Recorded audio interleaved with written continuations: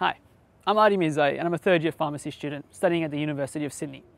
When I was applying to university, it was important to me to find a place where I could fit in, have great opportunities to find out what I enjoy doing, and also be pushed to the best that I could be.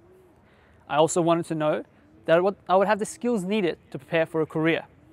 Today, I've come to speak to Professor Iqbal Ramzan, the Dean of Pharmacy, to find out a little bit about what the future of pharmacy industry holds. Thank you for being with us today, Professor. It's good to see you, Adi. Thank you. What, tell, us, tell us, what is the future of pharmacy?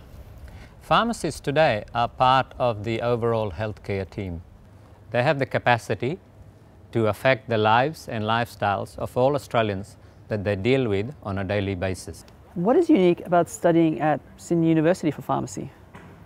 While studying pharmacy at University of Sydney, you will be taught by and interact with academic staff who are national and international leaders in their field. You and your fellow classmates will learn to treat patients with various ailments and you will receive hands-on practical experience in a variety of clinical settings. Your knowledge and interpersonal skills will assist you in optimizing the health outcomes of all patients. How will a degree from the University of Sydney benefit a student's career?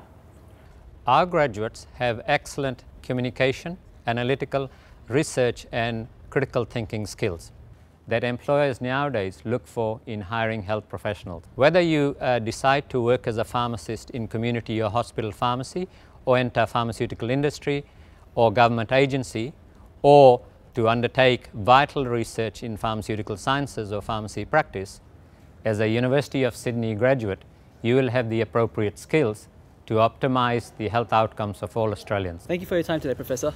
Good to see you again, Adi. Since starting here three years ago at Sydney University, I've made loads of friends and met a lot of people through the clubs and societies and the great social life on campus. I've discovered a lot of different subjects like drug discovery and design, clinical chemistry, and pharmacy practice.